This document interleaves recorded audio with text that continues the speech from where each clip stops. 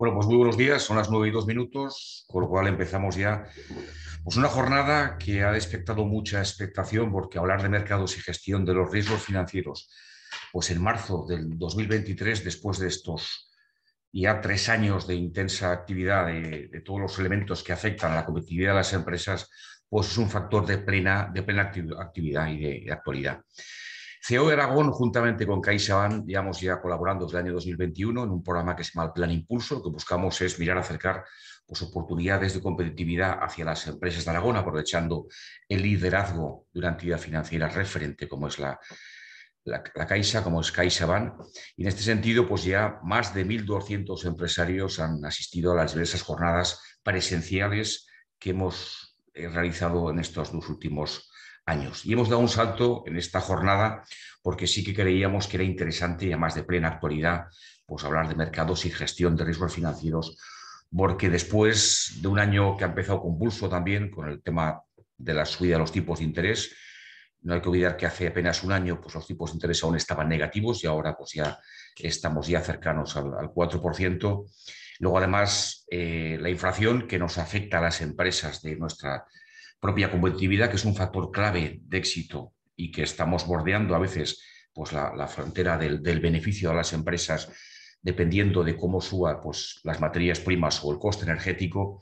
Y luego además pues, con alguna mini crisis que esperemos que no vaya más pues, de algún susto como ha habido en el caso del Silicon Valley o de los bancos suizos que esperemos que solventen. Con lo cual, con estos mimbres creo que es importante hablar de un entorno exigente y competitivo donde la financiación vuelve a ser un factor clave para las empresas y de su competitividad. Y para ello contamos con dos referentes como es Javier Álvaro Palomares y con Iván González Arrufat, que nos van a ilustrar pues, una jornada creo que va a ser importante de cara a darnos luz en estos momentos de plena incertidumbre. Por parte de CEO Aragón damos las gracias a CaixaBank por su apoyo, por liderar esta jornada y ya damos la, la palabra a Carolina Álvarez, que es la persona de, CEO Aragón que va a liderar y va a coordinar ya la jornada. Por parte de CEO, gracias a todos por la asistencia y agradecer de nuevo a CaixaBank por su implicación y que nos aporte luz en estos momentos de incertidumbre. Gracias y buenos días. Gracias Jesús y buenos días a todos. Y bueno, lo primero a los asistentes que estáis conectados telemáticamente, que antes de pasar la palabra a los ponentes de hoy, Deciros únicamente que si tenéis cualquier problema con audio, servicio técnico, etcétera, por favor nos lo ponéis, nos lo vais escribiendo en el chat e intentaremos resolverlo, así como cualquier cuestión que nos queráis trasladar. ¿eh? Entonces, bueno, damos paso ya a, las ponencias principales. Para ello contamos con dos expertos del equipo de, de CaixaBank, que son Javier Álvaro Palmares y Iván González Arrufat. En primer lugar, Javier Álvaro Palomares ¿eh? vendrá como gerente coordinador del equipo de tesoreros de banca de empresas en CaixaBank. Em, Javier Álvaro tiene 25 años de experiencia en el sector financiero, ocupando distintos puestos de responsabilidad en el ámbito de mercados, de capitales y banca de empresas. Es licenciado en ADE, en Administración y Dirección de Empresas, con diferentes máster en finanzas, e inversión y bueno, cuenta con varias acreditaciones profesionales. Así que mm, Álvaro nos va a hablar de mercados financieros y perspectivas 2023. Cuando quieras, Álvaro.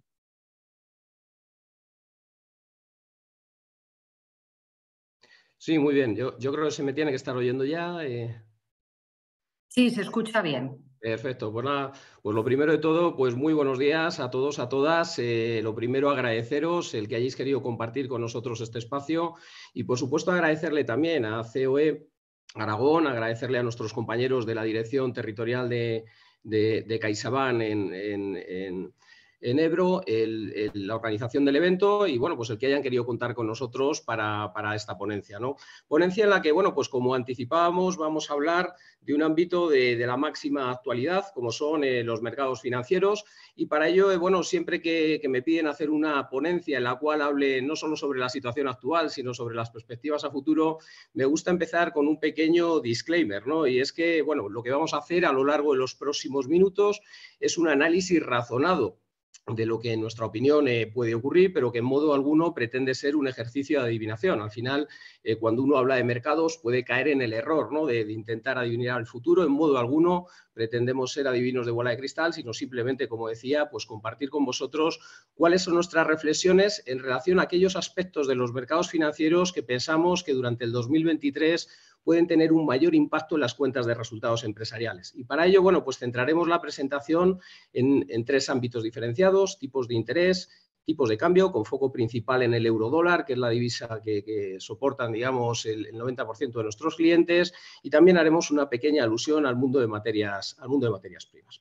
Eh, en la segunda parte de la presentación, eh, mi compañero Iván pues entrará a aterrizar de una forma práctica soluciones que, con las que estamos ayudando a todos nuestros clientes de banca de empresas a dar una respuesta efectiva a todos estos riesgos financieros que tenemos en el entorno, eh, en un entorno que, como veremos, pues tiene un, elevado componente de volatilidad. Entonces, sin más, bueno, pues empezamos con el mundo de los tipos de interés vimos cómo eh, bueno, pues el año 2002, sin lugar a dudas, supuso un punto de inflexión importante en lo que serían las políticas monetarias que los bancos centrales habían venido desarrollando pues, prácticamente en los últimos 10-15 años, eh, que se habían caracterizado por ser políticas monetarias fuertemente expansivas.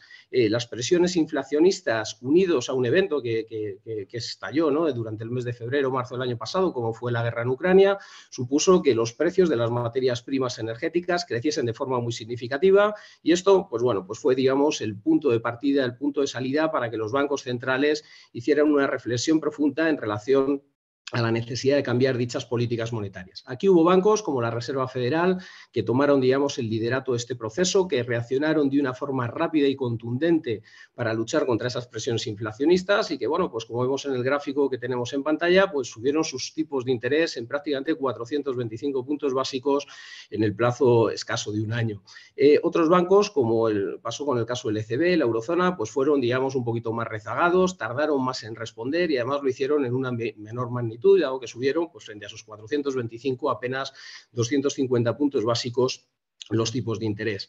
Eh, alcanzado este punto de inflexión, el gran interrogante, por tanto, para este año 2023 es, bueno, pues hasta dónde pueden llegar esos tipos de interés, es decir, dónde están esos tipos terminales que actualmente busca el mercado y una vez que se alcancen, durante cuánto tiempo permanecerán allí. Y esas, bueno, pues son dos de las preguntas que vamos a intentar responder y, como decíamos, pues siempre bajo una perspectiva de análisis razonado, simplemente se trata de nuestra opinión y es una opinión que lo que buscamos es que ayude a complementar las que vosotros podáis tener ya.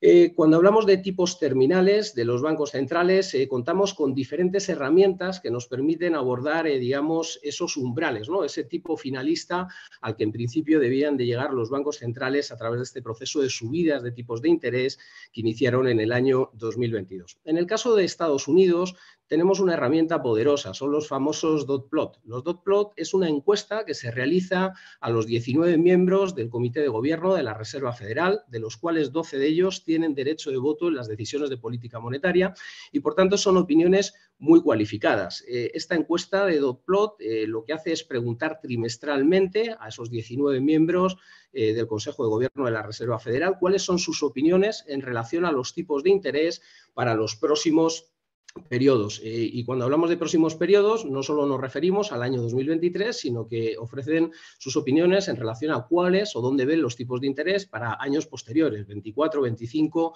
y más allá del 25. Por tanto, pues una herramienta muy indicativa de cuál puede ser el sesgo de la política monetaria. Los datos que tenemos en pantalla se corresponden al dot plot de diciembre. Hoy tenemos reunión de la Reserva Federal.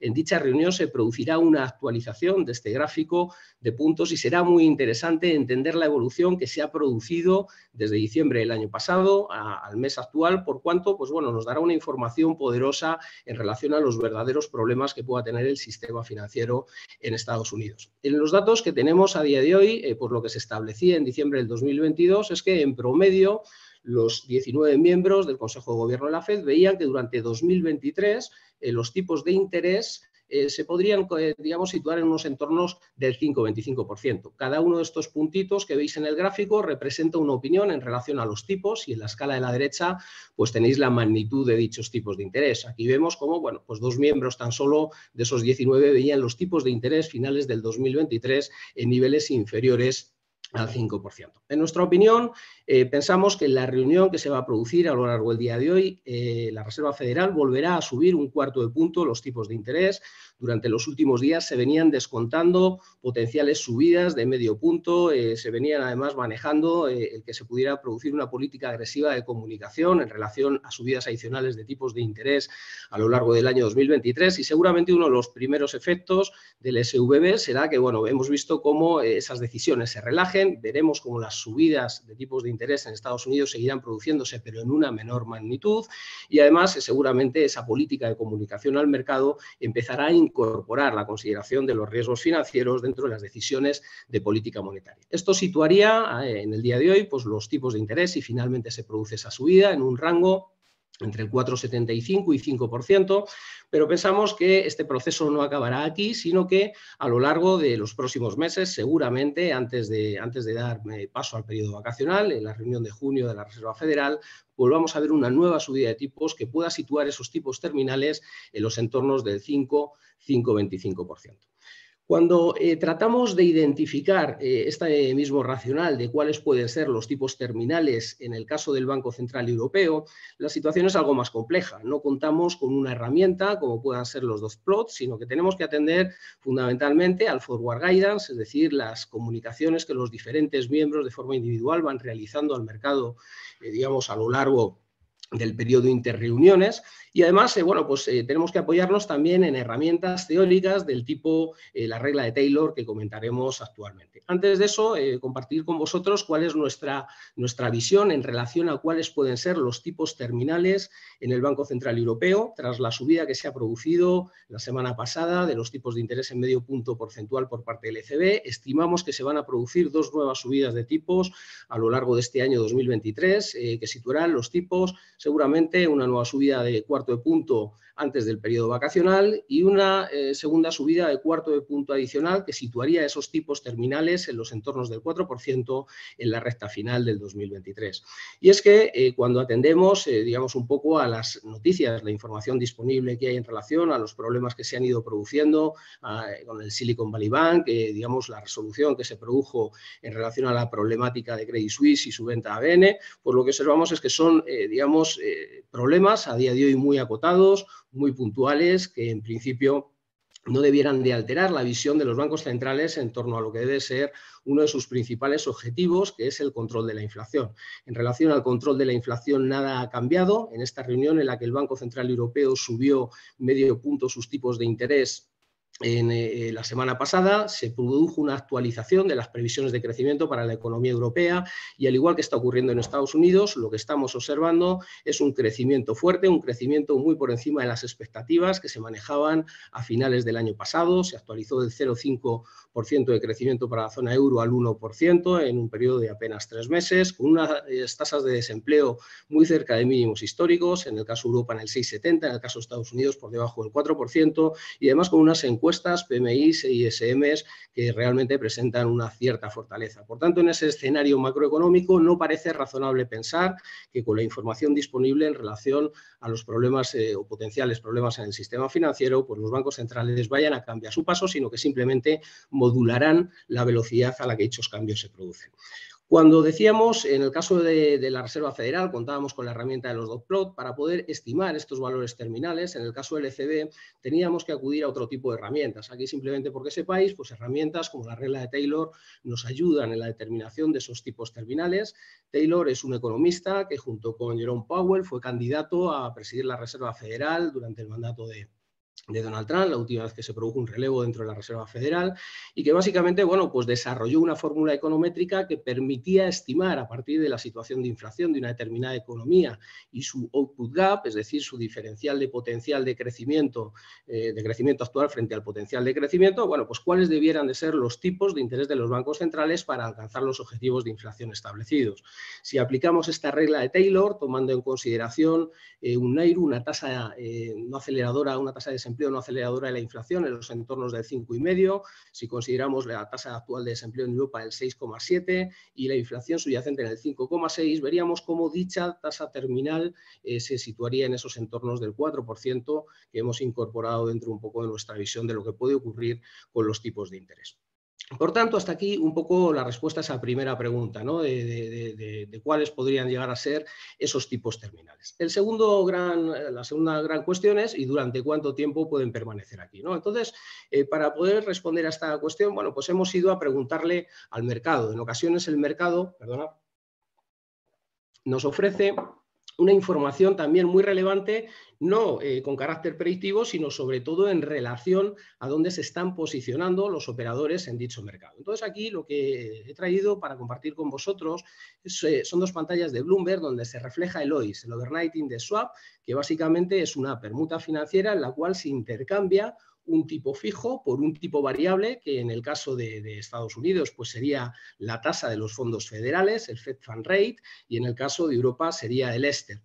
Y por tanto son, digamos, puntos de referencia en relación a dónde el mercado piensa que pueden situarse esos tipos implícitos, esos tipos terminales por parte de los bancos centrales y además cuando se podría llegar a producir un cambio de sesgo en dichas políticas monetarias. Y os he traído dos fotos. La que tenéis en la izquierda serían los datos a 3 de julio, antes de, digamos, los acontecimientos del SVB y que en nuestra opinión seguramente sean las que tienen un mayor peso en la situación actual, donde eh, bueno, pues veíamos cómo el mercado en el caso de Estados Unidos estaba descontando una tasa terminal del 5,6% y no descontaba bajadas de tipos hasta el año 2024. Eh, tras conocerse, digamos, los acontecimientos en relación al Silicon Valley Bank, pues lo que se produjo, digamos, fue un cambio significativo. Esta tasa terminal del 5,6 pasó a niveles del 4,8% y lo que el mercado empezó a descontar es que en las reuniones que se iniciarían durante el mes de junio del año 2023 podríamos empezar a ver ciertas bajadas de tipos de interés en Estados Unidos. Es decir, adelantó ese momento en el cual los tipos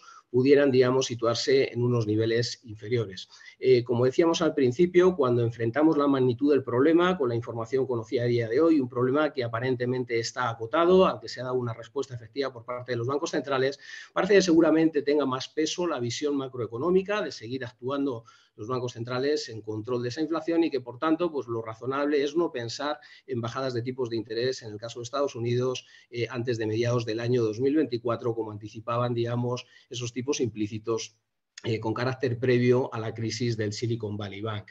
En el caso de Europa, eh, la situación es eh, de una menor magnitud. el mercado estaba descontando unos tipos terminales en los entornos del 4% el día 7 de marzo y veíamos cómo bueno, pues no se descontaban bajadas de tipos durante todo el año 2024. Es decir, en el caso de Europa parece que los tipos terminales, una vez que se alcancen, van a permanecer en niveles altos durante mucho más tiempo de lo que en principio pudiera parecer y esto de lo que pudiera ocurrir en Estados Unidos y esto, bueno, pues veremos luego cuando hablemos de la inflación a qué puede verse. Eh, tras eh, los acontecimientos del Silicon Valley Bank, estos tipos implícitos pasaron ese tipo terminal del 4 al 3,2% y el mercado empezó a descontar alguna bajada de tipos de interés eh, poco significativa a partir del mes de febrero del año 2024. Nuevamente seguimos pensando que dada la magnitud del problema y lo acotado de las soluciones que se han adoptado por parte de los bancos centrales, pues seguramente estemos ante un problema puntual y por tanto será la macroeconomía la que seguirá guiando las decisiones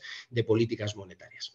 Eh, cuando además enfrentamos los niveles actuales que plantean los tipos de interés eh, en relación a los niveles de inflación, pues tenemos y nos damos cuenta de que los tipos reales en la situación actual pues se encuentran aún en terreno muy negativo, lo cual es incompatible con ese control de la inflación que estamos buscando. Si tenemos en Europa el último dato de inflación conocido sitúa la subyacente niveles del 5,6% y como veíamos tenemos unos niveles de Euribor en los entornos del 3,38%, pues esta situación en términos de tipos de interés pues sigue siendo una situación de tipos de interés negativos, cual, pues en principio no es eh, ciertamente compatible eh, con ese control de la inflación que se persigue por debajo del 2%. Eh, por tanto, seguramente sigamos viendo tipos de interés en niveles altos, ese 4% de referencia para Europa y además durante un periodo prolongado de tiempo. Y es que cuando además analizamos la segunda tarea importante que tienen los bancos centrales por delante en los próximos meses, que es la reducción de sus balances, pues lo que observamos es cómo, bueno, pues tras esas crisis 2007, 2020, la crisis de crédito, la crisis del COVID, donde los tamaños de los bancos centrales pues, crecieron de forma muy notable. Eh, en el primer salto pues, vimos en el año 2007 cómo el balance de la Fed se situó cerca de los 4 billones y cómo tras la crisis del COVID se disparó a los 8. De forma similar también pasó en el caso de Europa. Pues al final eh, este proceso de retroceso por parte de los bancos centrales en el tamaño de sus balances pues necesariamente conllevará un importante impacto en las curvas de tipos de interés a plazo.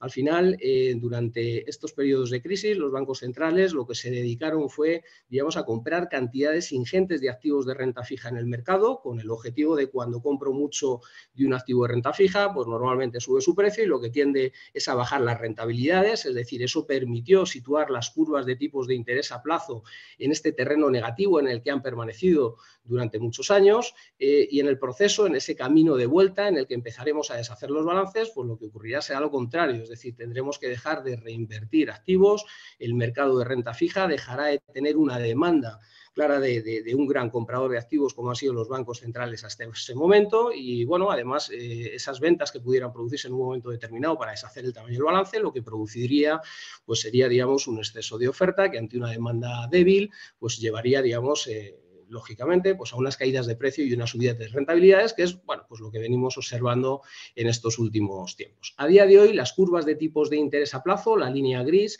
eh, se sitúa muy parecida en niveles próximos a los que se situaba en el cierre de, de, 2022 y esta situación se ha producido como consecuencia eh, de, los efectos del SVB. Si hubiéramos hecho este gráfico hace 15 días, pues veríamos cómo esa curva gris se situaba en niveles en los entornos del 4%. Esto, en nuestra opinión, es un efecto eh, puramente vinculado a posicionamientos, operaciones dentro de los, de los mercados de, renta fija, los operadores de renta fija, los gestores de dinero de grandes fondos de inversión que han, eh, digamos, adoptado un posicionamiento defensivo a lo largo de la curva para garantizar unos niveles mínimos de tires y, por tanto, pues representa una oportunidad, como luego os contará Iván, para, aprovechando esta curva invertida, el poder llevar a cabo una transformación de los tipos de interés variable que vamos a tener en financiaciones en balance a tipos de interés a tipo fijo mediante esquemas como puedan ser los, los IRS o los SWAP.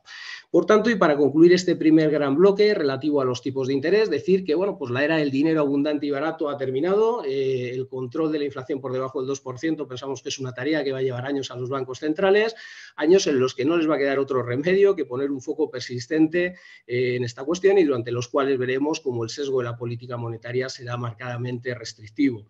Una segunda gran idea es que el escenario actual eh, implica que las tires, las primas de riesgo que hemos venido aplicando a los proyectos de inversión, pues necesariamente deberán de ser revisadas un entorno caracterizado por elevada inflación, bajo crecimiento y altos tipos de interés, pues lógicamente exige una revisión de esas WAP, esos costes medios ponderados de capital aplicados a los proyectos de inversión para determinar cuáles de dichos proyectos podrían haber dejado de ser eh, viables como consecuencia del nuevo escenario de tipos de interés. Y en este contexto muy importante, y, lo apuntaban en el, en el arranque de la jornada, anticipar y satisfacer las potenciales necesidades de liquidez pues serán un elemento diferencial. Durante muchos años, con tipos de interés al cero y dinero abundante, digamos, el mundo de la financiación salió del, del día a día estratégico de cualquier director financiero en el contexto actual, en un mundo de dinero escaso y de dinero cada vez más caro. Anticipar y satisfacer estas potenciales de liquidez, sin lugar a dudas, será un elemento diferencial. Vamos a un mundo donde los tipos de interés serán más altos, no solo como consecuencia de la situación de los bancos centrales, sino que como consecuencia de la incertidumbre, y el caso del SVB es un claro ejemplo de esto, pues lo que veremos es cómo los spreads de crédito aplicado a la financiación en términos generales en el sistema se de forma muy significativa. Los últimos datos publicados por el Banco Central Europeo son públicos, están en su página web, se puede comprobar cómo esos diferenciales aplicados a las financiaciones, esos diferenciales de crédito están creciendo de forma muy importante. Por tanto, aquí una idea importante en relación a los tipos de interés, anticipar y satisfacer esas eh, necesidades de liquidez, pues sin lugar a dudas hará eh, dos cosas, ser capaces de captar la financiación en la cantidad que necesitamos y además a un precio razonable, porque todo lo que ocurra a partir de ahora será, digamos, menos dinero y cada vez más caro. Eh, bajo la vertiente del tipo de cambio, y lo veremos ahora, eh, los diferenciales de tipos de interés entre Estados Unidos y Europa, pues sin lugar a dudas lo que marcarán eh, es una, esa reducción en los diferenciales de tipos de interés, pues lo que marcarán será una apreciación del euro dólar que pudiera llevar al euro dólar a situarse en los entornos 1,088, pero esto entraremos a continuación en mayor detalle. Entonces, esto en relación al mundo de tipos de interés, uno de los grandes riesgos que sin duda empiezan a afectar de forma muy notable a la parte baja de la cuenta de resultados de las empresas. Un segundo gran bloque es el que tiene que ver con los tipos de cambio. Cuando llevamos a cabo una aproximación al tipo de cambio y lo vamos a circunscribir en al euro dólar, como decíamos al principio de la reunión, pues básicamente en ese análisis fundamental tendemos a fijarnos en, tres aspectos fundamentales, diferenciales de tipos de interés, diferenciales de inflación, diferenciales de crecimiento. En relación con los diferenciales de tipos de interés, la idea intuitiva es sencilla. Eh, cuando, cuando básicamente una zona económica con un nivel de riesgo similar aumenta sus tipos de interés, y esto es lo que pasó en Estados Unidos durante el 2022, pues lo que tiende es a ejercer un efecto de atracción de capitales, es decir, la posibilidad de invertir recursos a un mayor dinero como consecuencia de esa subida de tipos de interés, por ejemplo, como se produjo en Estados Unidos en el año pasado. Esto generalmente lo que tiende es un flujo de capitales hacia esa zona geográfica y si, por ejemplo, yo estoy en Europa y deseo invertir esas mayores tasas de interés en Estados Unidos, pues lo que hago es que cojo mis euros, los vendo, compro dólares e invierto en Estados Unidos. En ese proceso de vender mis euros de precio del euro, en ese proceso de comprar los dólares a precio del dólar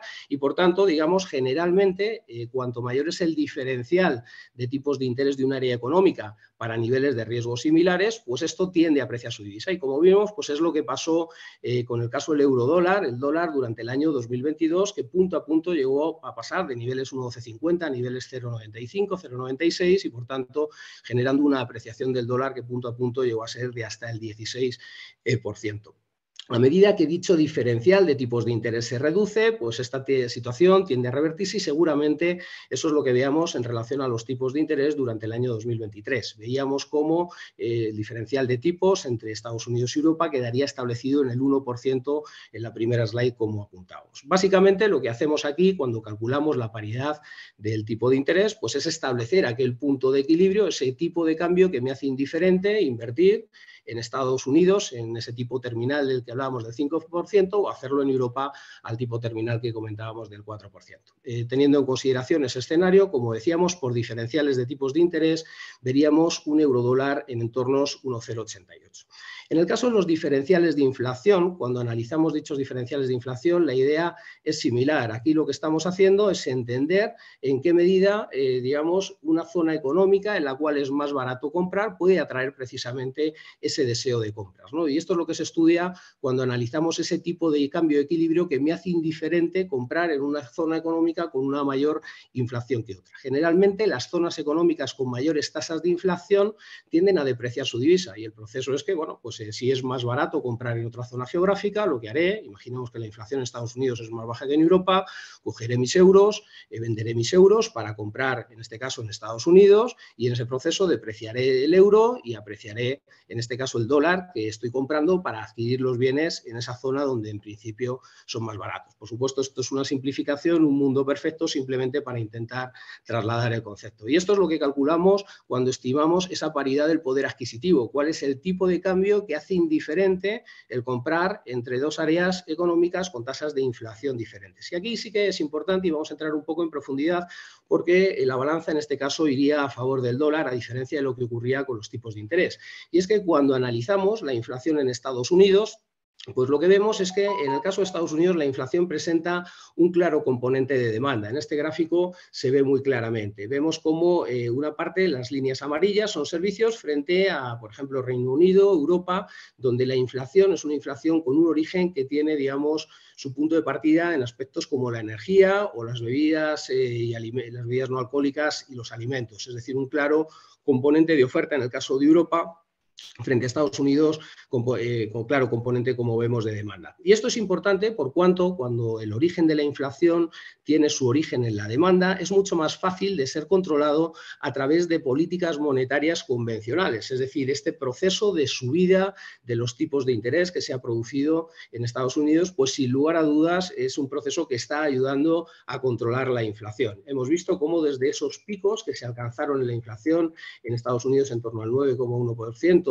durante el mes de junio del año pasado, pues la inflación, tanto la subyacente como la general como la subyacente, pues han disminuido. La subyacente actualmente se sitúa en los entornos del 6%, la subyacente en los entornos del 5,5% y además eh, vemos cómo eh, se produce en, el último, la última lectura de inflación una deflación en la partida de bienes duraderos. Es decir, esas políticas monetarias restrictivas desarrolladas por parte de la Fed están empezando a dar resultados y resultados importantes por cuanto inciden directamente en el problema, que es una inflación con origen en el lado de la demanda. Además, en Estados Unidos, para la lucha contra la inflación, tenemos algunos elementos diferenciales en relación a lo que ocurre en Europa. Eh, uno muy importante es que la política fiscal está integrada y alineada con la política monetaria y esto permite una más rápida transmisión de los efectos de política monetaria sobre la inflación y lo que nos evita es distorsiones sobre los objetivos finales a diferencia de lo que ocurre en Europa.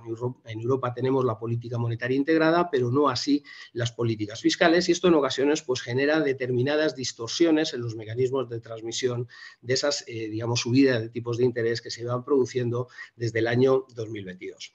Otro aspecto diferencial a la hora de estudiar, digamos, esos diferenciales de inflación entre Estados Unidos y Europa es que los efectos de segunda ronda ya están incorporados en gran parte en el caso de Estados Unidos. La configuración actual del mercado laboral en Estados Unidos, pues hace que sea un mercado muy flexible. En el gráfico de la izquierda, pues podemos ver cómo, eh, bueno, pues explota la crisis del COVID, pasamos de tasas de desempleo por debajo del 4% a tasas de desempleo por encima del 14%, pero a medida que la actividad económica se recupera, que los problemas se resuelven, pues rápidamente las tasas de desempleo vuelven a esos niveles en los que se sitúan actualmente eh, muy cerca de mínimos históricos, en esos entornos del 3,6, 3,7% por debajo del 4%. Pero no solo esto, sino que además eh, lo que serían los, sueldos y salarios y los beneficios sociales también eh, reaccionan de una forma bastante rápida a lo que ocurre en la economía. Aquí vimos cómo tras explotar la crisis del COVID, pues lo que serían los sueldos y salarios, se produjo una reducción en dichos sueldos y salarios y en el momento que la situación se recuperó, pues esto comenzó a crecer de una forma importante eh, acompañando al ciclo económico. Esto básicamente lo que hace es que esos efectos de segunda ronda en Estados Unidos ya están incorporados en gran parte y lo que estamos observando es como este trayecto final, estos últimos meses, empiezan a verse unas ciertas disminuciones, tanto en el crecimiento de los salarios, aunque todavía se sitúan en tasas de crecimiento por encima del 5%, como de los beneficios empresariales. Veremos cómo en el caso de Europa esta situación realmente no se produce y esto sin lugar a dudas pues es un aspecto diferencial de cara a este año 2023 en relación a lo que sería el control de la inflación. Eh, y otro elemento muy importante también en la gestión de la inflación durante el año 2022 y que probablemente lo sea por los niveles actuales en 2023 es el impacto del tipo de cambio euro-dólar. Eh, la economía americana es una economía que tradicionalmente, el año pasado no fue así como consecuencia de las exportaciones eh, de energía, pues tiene un déficit en su balanza exterior, serían digamos estas casillitas azules, aquí tenemos como durante los últimos años ha aportado digamos, ha, reducido el crecimiento en Estados Unidos y, por tanto, una economía netamente importadora, importa más de lo que exporta, pues el tener un tipo de cambio apreciado, sin lugar a dudas, le ayuda de una forma efectiva al control de la inflación. Es decir, es capaz de deflacionar su economía al mantener un tipo de cambio apreciado en la medida en que compra mucho al resto del mundo. Y esto es lo que observamos en los índices de precio a la importación y exportación que tenemos en este gráfico de la izquierda. Frente a esta situación, en Estados Unidos, donde, bueno, pues parece que todo lo que se está haciendo eh, va a permitir permitir a Estados Unidos reconducir la situación de una forma más rápida en términos de inflación, pues en Europa, decíamos, es un poco diferente. Vemos cómo pues, desde esos máximos que se alcanzaron en los entornos del 11%, eh, sí que es verdad que la inflación, eh, la inflación general ha comenzado a reducirse, tenemos actualmente situada en el 8,5 variación interanual, pero sin embargo la inflación subyacente no deja de subir, está en una zona de máximos históricos en esos entornos del 5,6% en variación interanual dentro de lo que sería la, eurozona. Y esto es así porque, bueno, pues a diferencia de lo que ocurría, eh, digamos, con, con la inflación en Estados Unidos, pues aquí tenemos un claro foco en la oferta, a diferencia de Estados Unidos, donde el foco era en la demanda. Y esto ha hecho que durante el año 2022 el control de la inflación fuese ciertamente difícil por parte del Banco Central Europeo, porque aunque subíamos los tipos de interés, digamos, eso no incidía de forma muy relevante en el, ámbito que más, nos, más daño nos hacía, que eran las exportaciones energéticas que estábamos realizando del resto del mundo. Sin embargo, bueno, pues eso que fue un problema durante el año 2022, seguramente se vuelva a favor del control de la inflación y en los próximos meses eh, vamos a empezar a oír hablar de algo que es el efecto base. El efecto base, pues básicamente lo que nos indica es cómo eh, cuando calculamos esta variación interanual punto a punto, en la medida en que el crecimiento del periodo anterior eh, fue a una mayor tasa que el periodo actual de crecimiento, pues eso va a permitir que las lecturas de inflación se reduzcan y lo hagan además de una forma muy significativa en los próximos meses. Los grandes picos inflacionarios se produjeron eh, durante el primer semestre del año 2022 y eso hace que ahora a partir del mes de marzo, y lo veremos, los datos que vayamos conociendo de inflación, inflación general, cada vez sean mejores como consecuencia de que ese incremento que se producía sobre todo en, el precio de la energía, pues eh, como consecuencia, digamos, de ese menor precio actual de mercado y además ese menor crecimiento relativo dentro de un mismo periodo, pues impacte de forma eh, positiva los próximos meses en la, reducción de la inflación en general. Y aquí queríamos hacer un alto porque, bueno, pues sin lugar a dudas decíamos que uno de los grandes elementos que estaban impactando de forma muy relevante dentro de las cuentas de resultados empresariales tenían que ver, eh, digamos, con el coste de las materias primas. Vimos cómo el año pasado precios como el gas llegaron a establecerse precios en el mes de octubre en los entornos de 350 euros megavatio. Simplemente en marzo del año pasado ya estábamos por encima de los 200 euros megavatio y sin embargo, bueno, pues hoy tenemos cotizando el gas TTF en los entornos de 50 euros megavatio. En el caso del petróleo Brent, pues vimos cómo después de esos máximos en los entornos de 120, tenemos un precio estabilizado en los entornos de 80 y además las curvas de futuros pues apuntan en que seguramente los precios puedan estabilizarse en esos niveles de 80. En el caso del gas TTF, pues tienden a esa zona en los entornos de 50-55 euros megavatio hora. Esto sin lugar a dudas representa una gran oportunidad en términos de control de la inflación, pero también representan una gran oportunidad en términos de gestión de los escandallos empresariales. Luego, con posterioridad, mi compañero Iván nos comentará cómo podemos aprovechar esta situación en la cual se ha producido una reducción exponencial de los precios del gas para garantizarnos eh, un precio de suministros que impactan de forma muy determinante en las cuentas de resultados empresariales y que además afectan a lo que es el core de la empresa porque normalmente se sitúan a nivel de, márgenes brutos.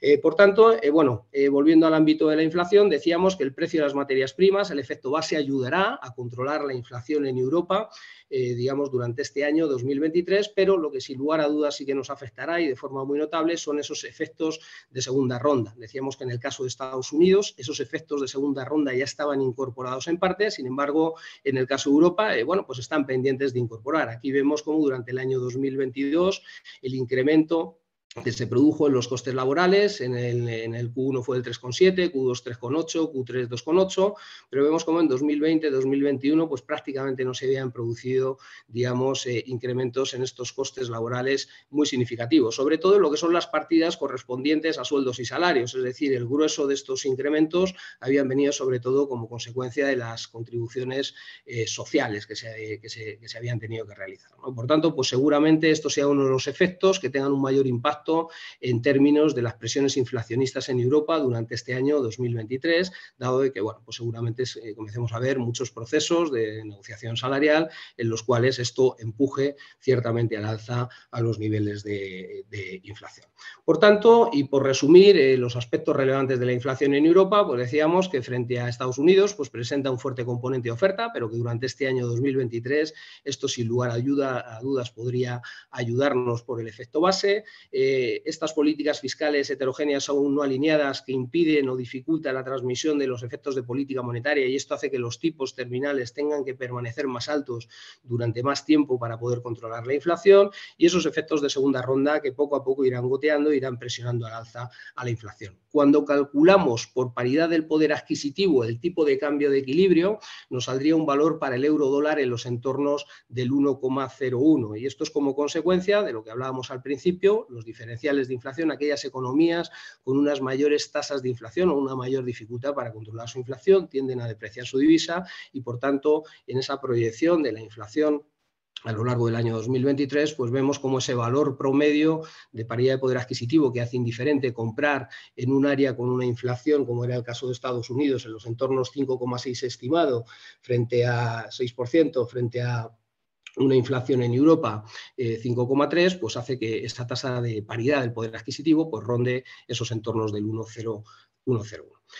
Eh, junto con lo que sería el análisis fundamental de la divisa, no entramos a diferenciales de crecimiento por cuanto en el contexto actual su, carácter explicativo no supera el 10%, pues generalmente ese análisis fundamental es complementado con el análisis técnico que nos permite, digamos, establecer niveles de referencia para la operativa, eh, digamos, en el día a día por parte de las empresas. ¿no? Y aquí lo que podemos ver es cómo, eh, bueno, pues tenemos, digamos, una situación técnica bajo la perspectiva de la divisa relevante, bajo una perspectiva de soportes, niveles de 1,0550 son una zona crítica, la pérdida del 1,0550 desembocaría, digamos, en apreciaciones adicionales del euro dólar a niveles buscando los entornos 1,02, 1,01 y por tanto bajo una perspectiva importadora habrá que estar atentos por cuanto si se pierde esta zona el riesgo digamos de unas depreciaciones o de ver depreciaciones adicionales del euro crece de forma muy significativa.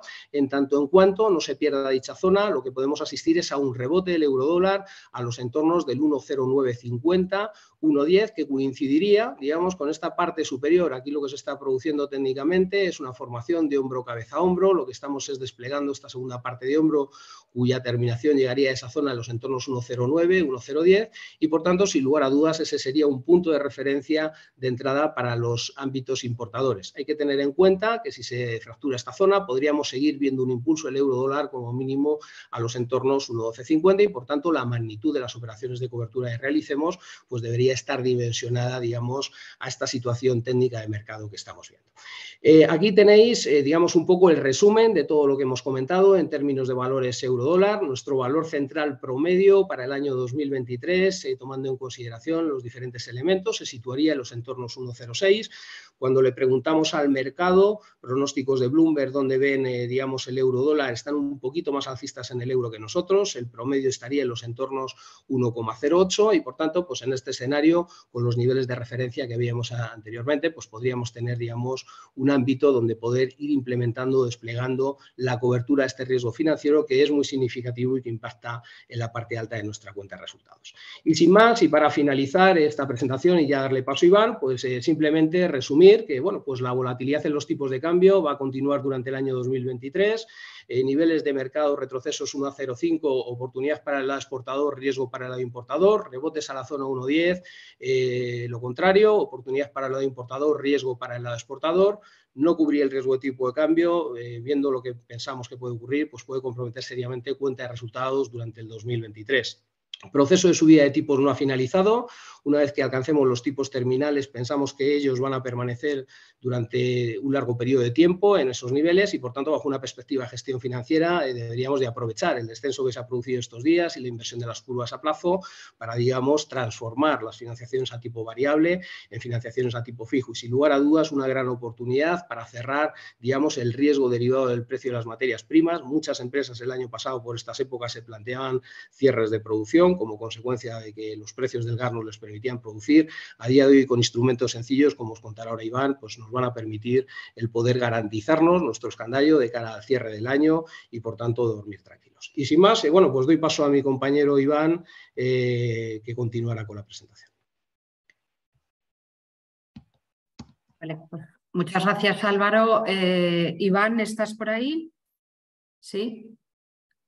Vale, bueno, pues damos paso a Iván González. Eh, te presento Iván. Iván es em, eh, actualmente ocupa el cargo especialista en tesorería en la Dirección Territorial Ebro de CaixaBank.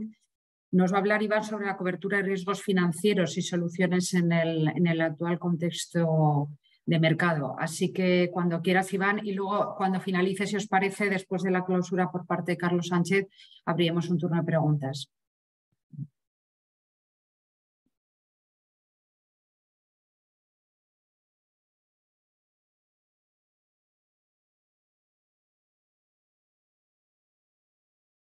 No se escucha, Iván.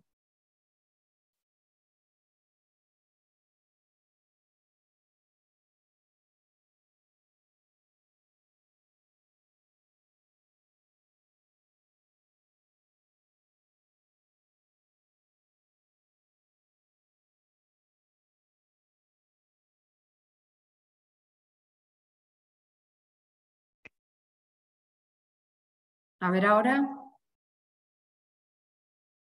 No te escuchamos. No sé si igual conectar y desconectar el audio. A ver.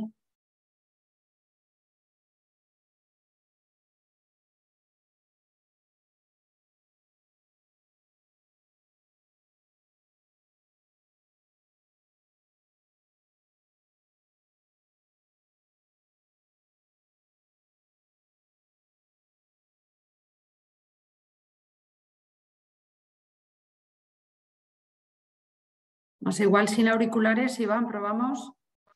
¿Me oís ahora bien? Ahora, ya está. Venga, pues voy a compartir pantalla y empezamos. Disculpar un momento, por favor.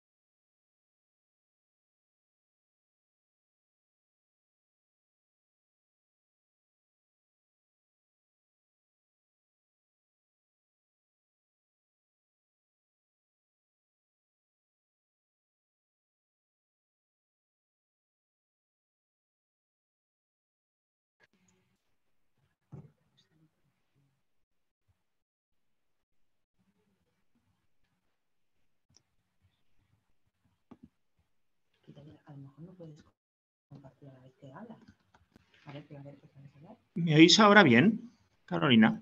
Sí, se te escucha, Iván. ¿Y veis la presentación? No. Venga, vamos a intentar compartir la presentación.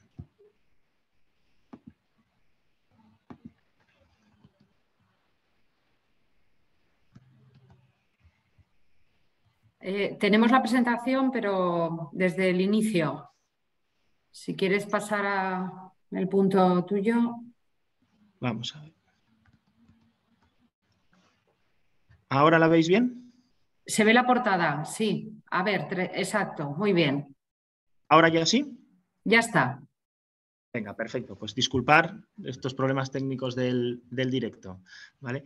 Bueno, eh, muchas gracias. Lo primero de todo, gracias a la COE por, por dejarnos este rato para poder compartir con, todos vosotros, pues bueno, un aspecto que es fundamental actualmente y en los momentos actuales sobre los riesgos de, que hay en mercado de los diferentes subyacentes que están cotizados y que ahora mismo están tan en, boca de, de, todo el mundo. Entonces, pues, agradecer a los asistentes y a la COE el poder estar este, este rato con todos vosotros. ¿vale?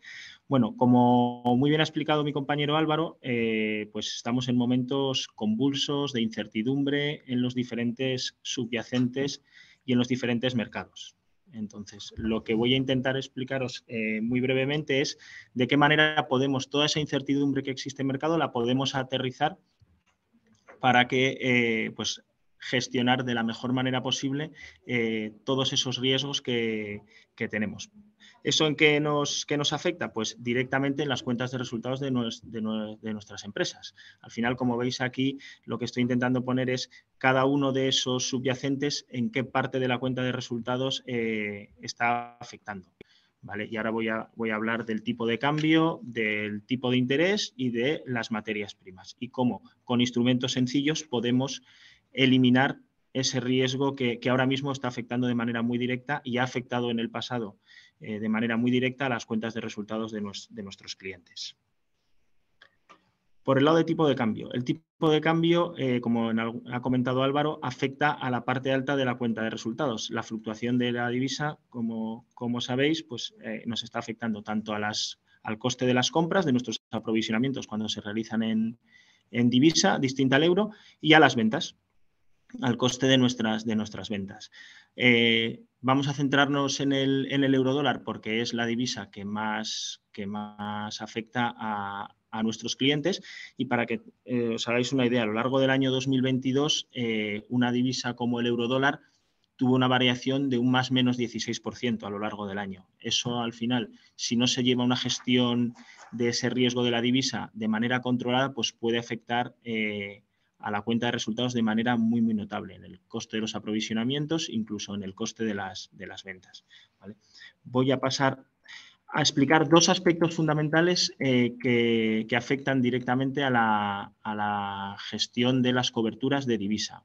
Uno es el plazo, el plazo al que se pueden cubrir las operaciones. Los famosos puntos swap, que muchos de vosotros conoceréis, son los diferenciales de tipos de interés que hay entre las dos monedas. En este momento, tal y como está la situación de tipos de interés entre la zona euro y en Estados Unidos, el, a mayor plazo en el cierre de las operaciones para un importador, mejores niveles vamos a conseguir para poder asegurar ese tipo de cambio y para el exportador eh, lo tendremos en contra. Entonces, un primer aspecto fundamental son el plazo al que, al que decidimos cubrir nuestras operaciones de, eurodólar.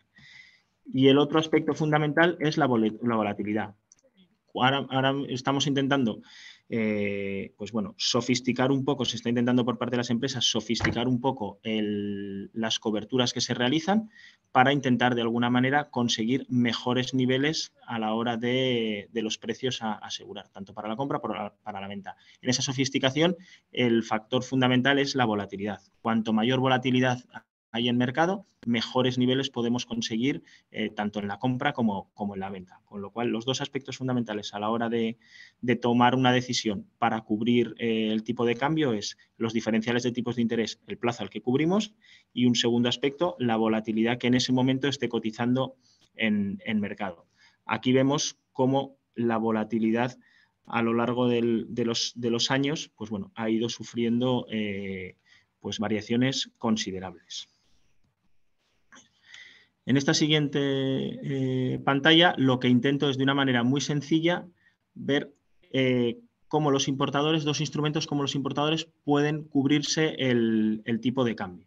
¿vale? Tenemos aquí un, seguro de cambio eh, simple que conseguimos obtener mejor nivel en mercado acompañándolo de un acumulador, de, un acumulador de importación. ¿vale? Con esos dos productos, que son dos productos eh, uno sencillo y el otro con un poco más sofisticado, conseguimos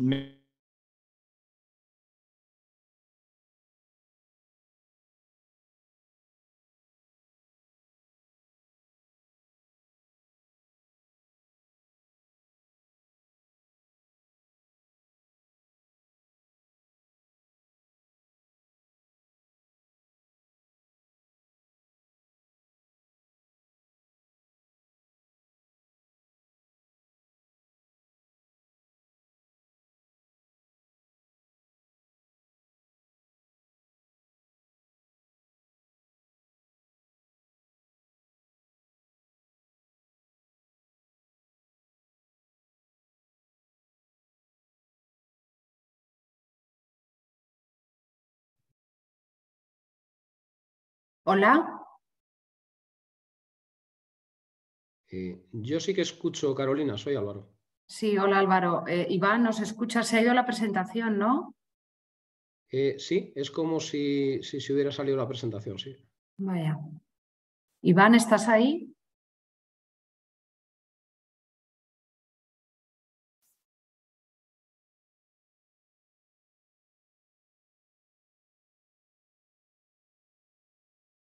Sí, a ver.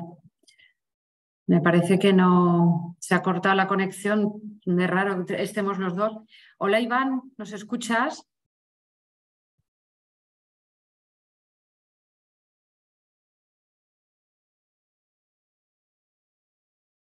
Y, levanta la mano alguien. Sí, eh, Melendo pone por aquí. ¿Se escucha?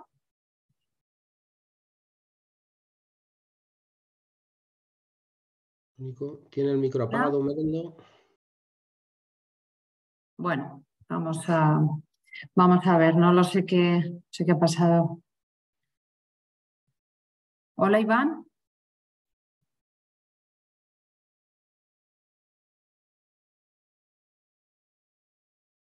Sí, nos dicen aquí, eh, Carolina, que nos escuchan a nosotros, pero no a Iván. Ya. Eh, Intento, intento localizar a Iván, si no eh, podría yo retomar su parte.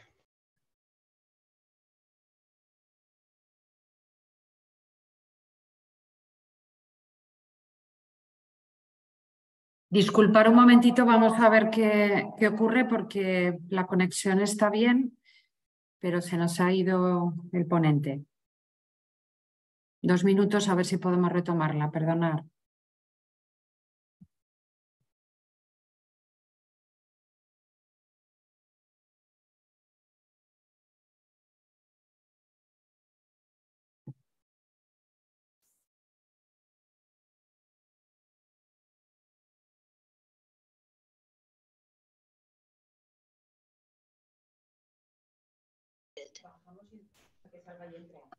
Disculpar, que me, han dicho que no se oía. ¿Se me oía ahora?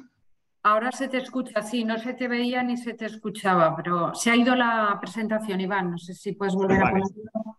Un momento, por favor.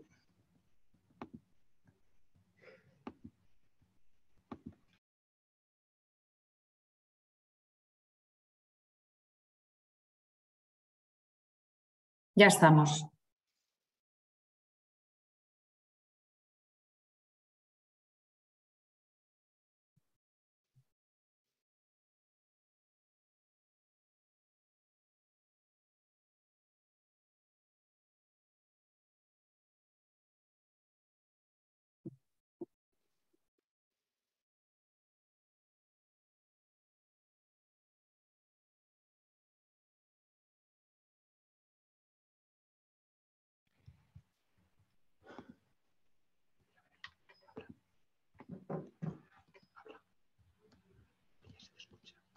A ver ahora.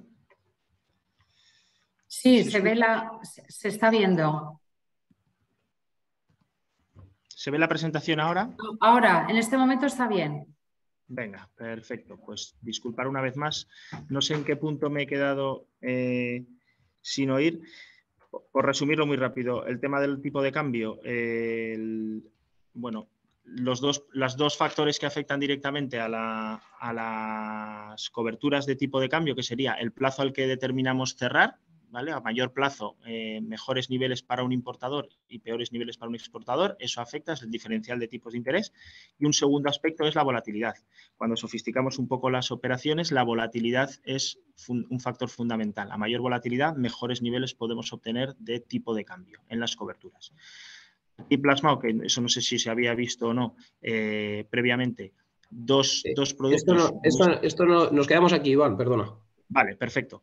Pues aquí lo que estamos intentando eh, enseñar son dos, productos sencillos para clientes importadores. Sería un seguro de cambio, un forward sencillo que estaría primado sobre lo que, es, lo que está en mercado, acompañándolo de un acumulador. Como veis aquí sería una operación de 250.000 dólares, una operación estándar con eh, vencimiento primer semestre del 2023, en el que podríamos conseguir un nivel de 1,0850.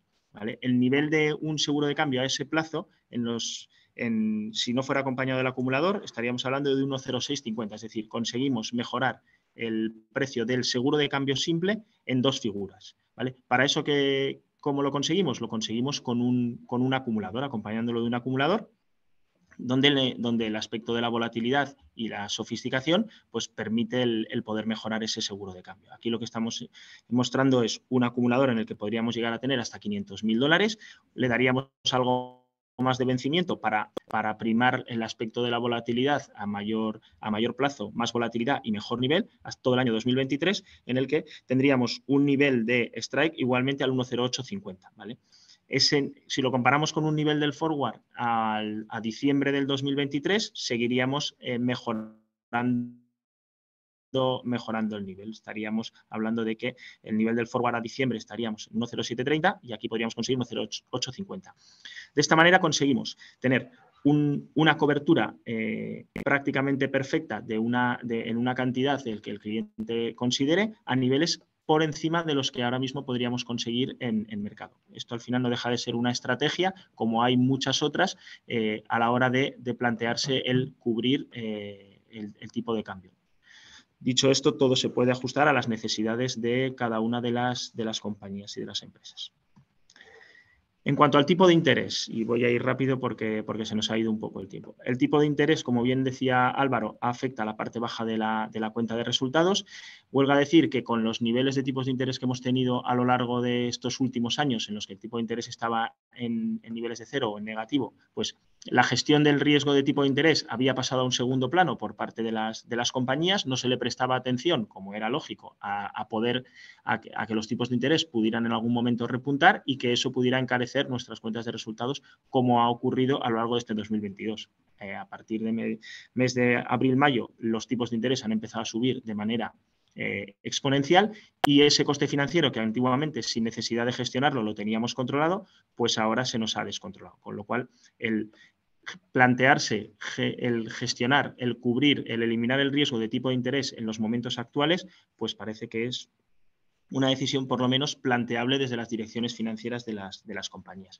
Aquí os presento muy gráficamente dos, alternativas para poder cubrir el tipo de interés. El primero de ellos sería una cobertura de tipo de interés muy sencilla para un plazo de cinco años, un nominal de 500.000 dólares contra el Euribor 12 meses y con frecuencia de revisión semestral.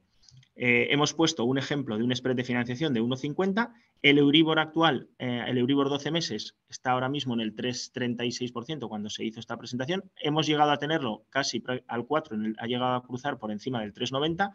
A raíz de los acontecimientos de Silicon Valley y de Credit Suisse, pues ese Euribor se ha relajado un poco. Entonces, bueno, tendríamos un coste financiero sin cubrir de entrada de un 4,86 ¿Qué conseguimos? ¿Cómo podríamos asegurar este tipo de interés con una cobertura? ¿Qué nivel podríamos cerrar hoy el tipo de interés para el plazo de cinco años? Pues a día de hoy podríamos eh, asegurar este Euribor a niveles de 3,50. Es prácticamente igual al mismo nivel que tenemos de partida en, un tipo de interés variable. Es decir, lo que estamos consiguiendo es que sobre el mismo nivel de tipo de interés del que hoy podríamos empezar a pagar en una financiación variable, poder dejar asegurado este, este tipo de interés en el 5%. Eliminamos esa incertidumbre de, tipo de interés a futuro, prácticamente en los mismos niveles en los que tenemos hoy cotizando en mercado. 4,86 frente a un 5%. No estamos encareciendo y eliminamos eh, la incertidumbre de tipos que a día de hoy, pues tal y como están los bancos centrales, pues es una incertidumbre bastante alta. Otra alternativa que, tenemos a las coberturas de tipos de interés del swap eh, que os he comentado sería ponerle un techo al tipo de interés. Hay muchas compañías que dicen, yo me quiero cubrir de que, los, de que mi, el coste financiero se me incremente y tener los sustos y evitar sustos como los que he tenido en, el, en este año 2022, ¿vale? pero no quiero verme eh, perjudicado si los tipos de interés vuelven a caer otra vez en el futuro. ¿vale? ¿Qué instrumento tenemos para poder eh, asegurar ese escenario? Pues sería el comprar un techo de tipo de interés es pagar una prima, desembolsamos una prima en el momento inicial, ya no se desembolsará más, por poner un techo al tipo de interés. En este caso, aquí lo que hemos hecho es poner varios, varios techos en función de dónde queremos colocar el techo de tipo de interés, donde nos sentimos cómodos, tiene un coste u otro. Y lo que conseguimos aquí es que si el, Euribor se va por encima del nivel del techo al que hemos, el que hemos querido poner, eh, nosotros estamos cubiertos, no se nos encarece nuestro coste. Y si cae por debajo del, nivel del techo, nosotros vamos a mercado. Bueno, pues sería otra alternativa que a día de hoy, tal y como están eh, cotizando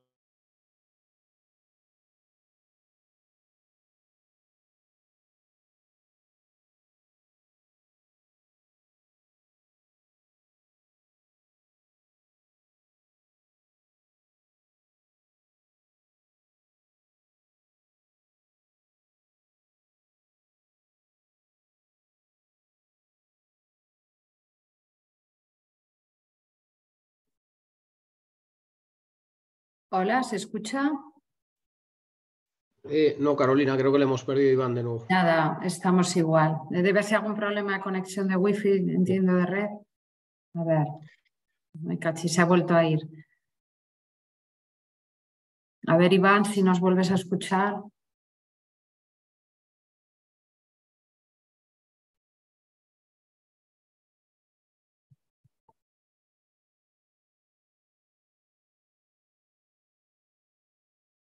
Hola Iván, ¿sigues ahí?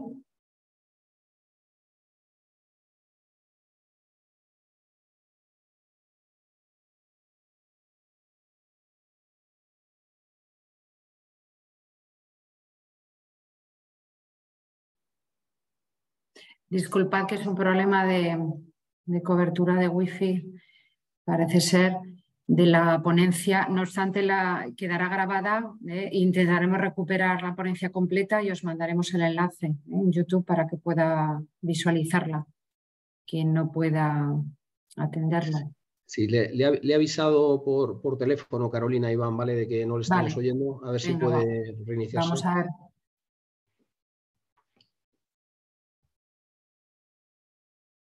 Si quieres, Carolina, que aprovechemos, si ha habido alguna duda, alguna cuestión en relación a la primera parte, lo que se incorpora Iván, eh, como quieras. Sí, vamos a ver si nos escucháis los, nos escucháis los participantes, si alguien quiere trasladarle a Álvaro o a Iván a cualquier cuestión, yo creo que eso podemos aprovechar efectivamente.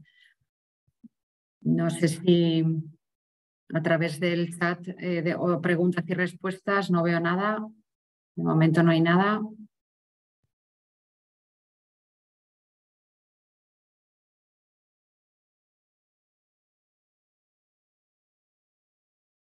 Si tenéis cualquier cuestión con la mano que hay en la barra de herramientas, podéis levantarla y os doy paso.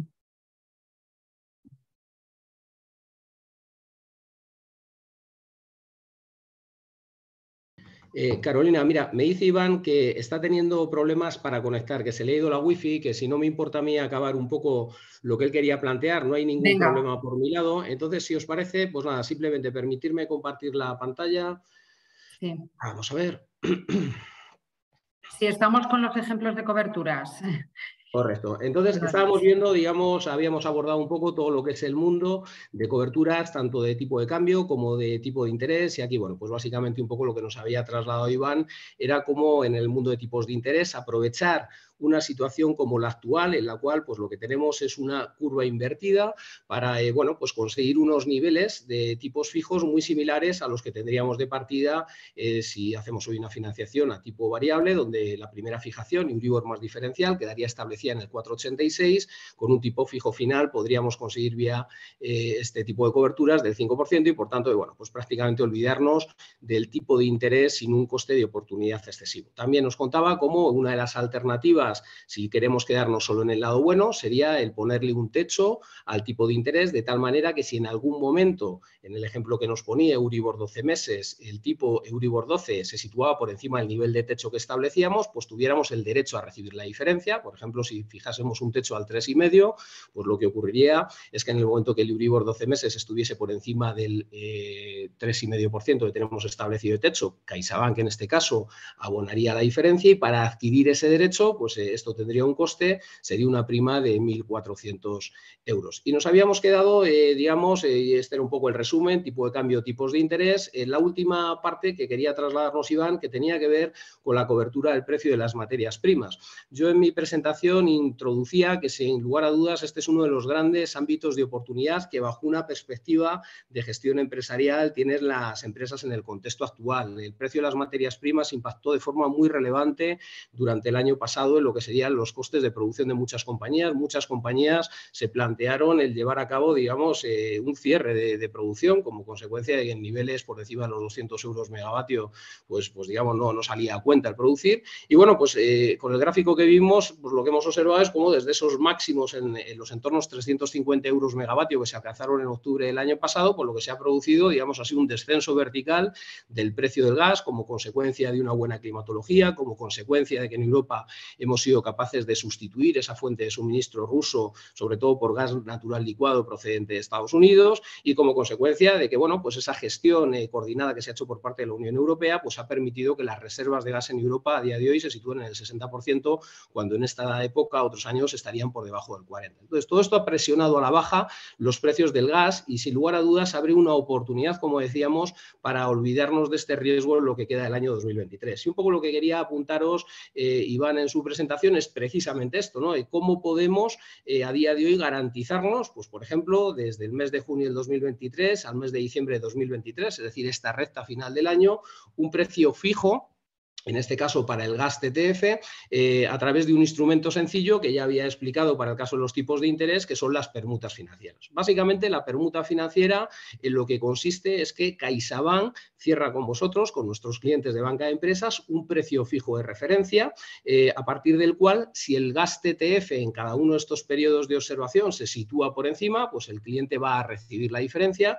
Si se sitúa por debajo, el cliente pagará la diferencia con el precio fijo que hayamos establecido pero el resultado de todo esto será que con un precio, y esto es un ejemplo real de una operación que cerramos la semana pasada, con un precio en mercado de 46 euros megavatio hora, pues uno de nuestros clientes se garantizó un precio para los próximos seis meses, iniciando en junio hasta diciembre del año que viene, perdón, hasta diciembre de 2023, un precio fijo de 48,5 euros megavatio.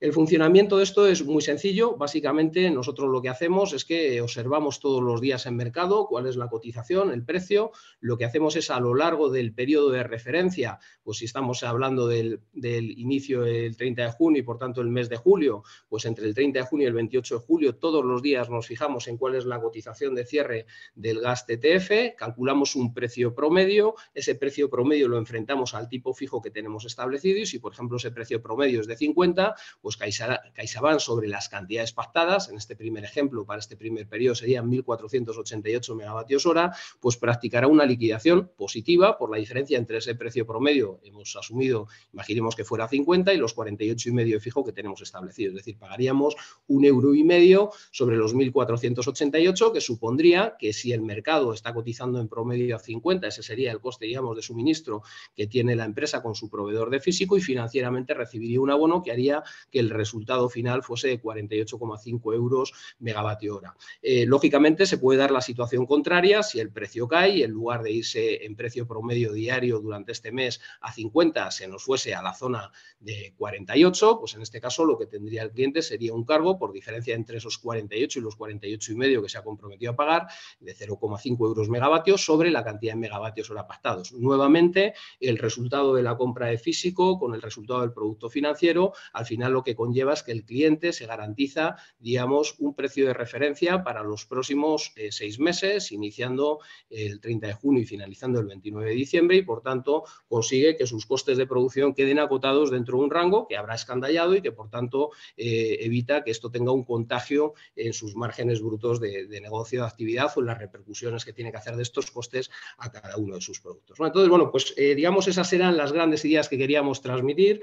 En el mundo del tipo de cambio, pues como decíamos, Hemos visto cómo la pérdida del nivel de 1,05 es crítica para el lado importador. En este sentido, pues estructuras como las que planteaba Iván, de forward primados con acumuladores, lo que nos permiten es garantizarnos una cantidad cierta eh, a un precio cierto para un horizonte temporal. Veíamos esos 250.000 euros y además tenemos un producto que es el que nos permite conseguir esa cantidad cierta a un precio primado frente a mercado. Hablábamos de niveles 1,0850 con un mercado 1,0630 y un forward equivalente en los entornos 1,0650 eh, de prácticamente dos figuras y media. Y esto lo conseguíamos gracias a que le pegábamos un producto que era un acumulador, incorporábamos un poquito de sofisticación y esa sofisticación al final en lo que se traducía, digamos, era en un mejor precio de mercado, sabiendo que en el peor de los escenarios eh, todo lo que acumulásemos en el acumulador sería en esos niveles 10850 eh, y por tanto si esto es compatible con nuestro escandallo, pues estaríamos haciendo una adecuada gestión. Decíamos que por arriba tenemos que vigilar la zona 10810, zona crítica, zona de problemas para nuestros clientes en el lado exportador. En el mundo de los tipos de interés. Hemos visto cómo la lucha contra la inflación pues, va a ser una tarea difícil. Vamos a ver cómo tenemos tipos altos, más altos de los actuales durante mucho tiempo todavía y que, por tanto, bueno, pues en este escenario puede tener sentido la cobertura del riesgo de tipos de interés. Y en el mundo de las materias primas, pues tras el susto muerte del año 2022, pues lo que hemos visto es que los mercados de materias primas energéticas nos están dando un respiro y seguramente tenga sentido bajo una versión de, una visión de gestión de riesgos empresariales el ser capaces, digamos, de aprovechar esta oportunidad y cerrar nuestros escándalos para el año 2023. En cualquier caso, esto no es más que un resumen de nuestras capacidades. En CaixaBank tenemos el conocimiento, la experiencia, las personas y, muy importante en el mundo de la gestión de riesgos, las herramientas adecuadas para ayudaros, ayudar a todos nuestros clientes de banca empresas a llevar a cabo una gestión eficiente de sus riesgos financieros. Así que, sin más, eh, eh, Carolina, eh, pues no sé si estará por aquí Carlos para cerrar la sesión, un poco como lo tenéis organizado. Pues muchas gracias, Álvaro, y también por tu, ofrecimiento. Iván, espero que nos estés acompañando después de, del corte también. ¿Estás ahí? Bueno, vamos a ver si nos acompaña. Vamos a dar paso al cierre ya, que vamos en tiempo, un poquito retrasados. Eh, nos acompaña también Carlos Sánchez, que es el director comercial de Banca Empresas de, de Caixa, que quiere despedirnos y decirnos unas palabras. ¿Estás por ahí, Carlos?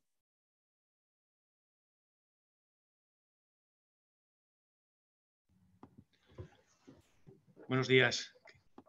Buenos días, no te vemos. Bueno, oye, venga, rápido. además, de tener, además de tener grandes especialistas en, tesorería que gestionan la incertidumbre, también tenemos grandes especialistas gestionando los temas tecnológicos y ya disculparéis cosas del directo, pero bueno, la resiliencia que se dice que nos toca a todos, ya a las empresas, ya a los empresarios, ya a los directores financieros en el día a día, pues también tocan este tipo de presentaciones. Yo no me voy a alargar, ni mucho menos, me gusta ser puntual, ya llevamos 15 minutos fuera del horario. Yo simplemente eh, agradecer a Javier Palomares y a Iván, y González pues, sus intervenciones. Creo que podemos concluir que, que una definición adecuada una estrategia adecuada nos va a ayudar a fortalecer la cuenta de resultados, minimizando los principales riesgos a los que se exponen las empresas. Espero de verdad que a pesar de todas las dificultades haya servido para esta jornada para extraer conclusiones que nos permitan convertir las decisiones más adecuadas en un contexto que, a pesar de las dificultades, también presenta grandes, grandes oportunidades.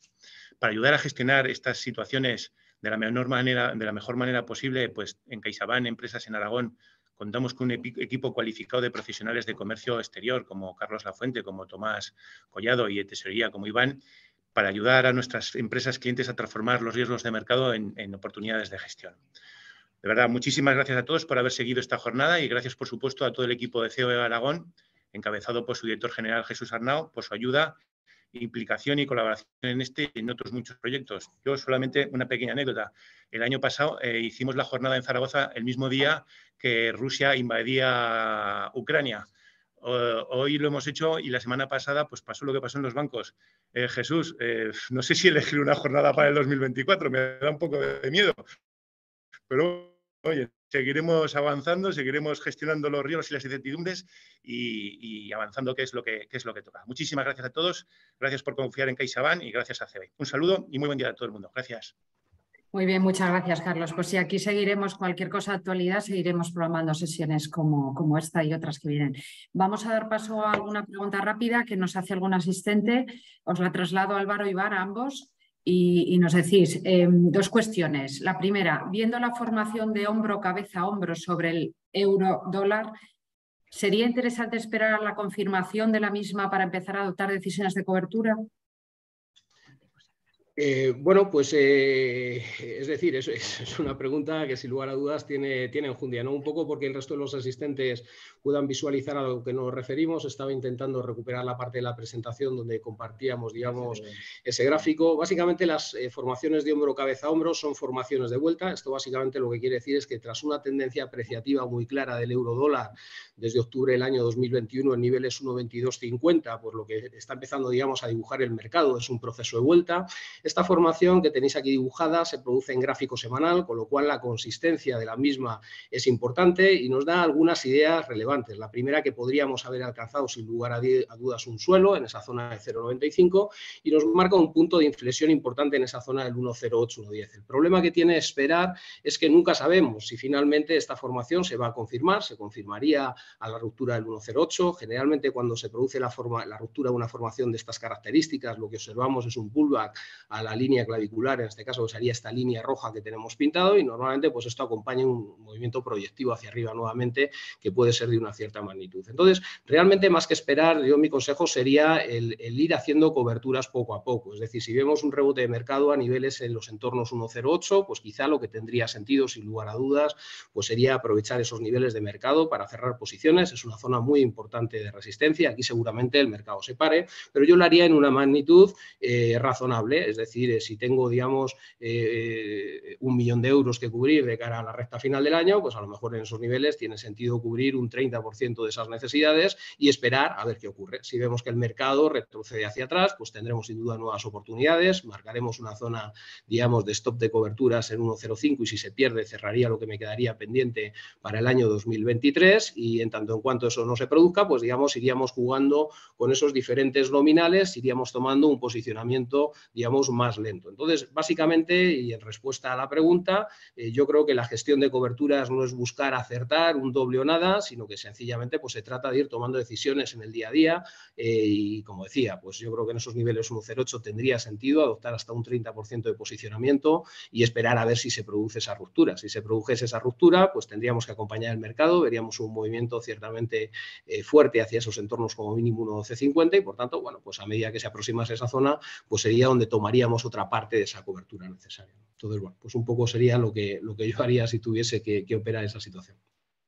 Pues gracias, Álvaro. Tenemos otra cuestión relativa a los precios del gas. Pregunta si con los actuales precios a la baja, si tiene sentido esperar para cubrir escandallo. Mi opinión tiene sentido total. Eh, si lo tengo claro eh, con el caso del tipo de cambio, sin lugar a dudas, mucho más claro con el precio del gas. Eh. aquí tenemos el gráfico del gas y, digamos, esta situación, yo que continuamente hablo con muchos clientes, pues fue traumática para muchos de nuestros clientes. Muchas empresas se planteaban cerrar producciones, ¿no? que eso pues, yo creo que en el mundo de la empresa pues, es casi lo, más doloroso ¿no? para un empresario y lo hacían como consecuencia de que para determinados niveles de precio del gas, digamos, no era rentable el seguir produciendo, ¿no? con las que esto tiene de muchos tipos. Por tanto, aprovechar que el mercado eh, ha vuelto, digamos, a unos niveles, no digo buenos de precio, porque si analizásemos el histórico, el promedio eh, hasta el año 2020, pues se situaría en euro megavatio los entornos de 25, estamos prácticamente en el doble, estaríamos en niveles de 50, como veíamos en el ejemplo que apuntábamos, pero en mi opinión sí que tendría mucho sentido el poder, digamos, en estos niveles como mínimo cerrar el escandallo, porque bueno, pues seguramente, ojalá no nos equivoquemos, eh, hablaba Carlos de la guerra a Ucrania, seguramente veamos cómo se conflicto en los próximos meses se recrudece de una forma bastante importante. No sabemos cómo va a venir el invierno de 2023. Comienzan los reabastecimientos de los diferentes países lo cual, eh, europeos, lo cual empezará a presionar fuerte el precio del gas hacia arriba. Y por tanto, bueno, pues en un escenario con tantos riesgos exógenos, yo creo que bajo una perspectiva empresarial tiene mucho sentido cerrar este riesgo. Muy bien, gracias Álvaro. ¿Alguna cuestión más?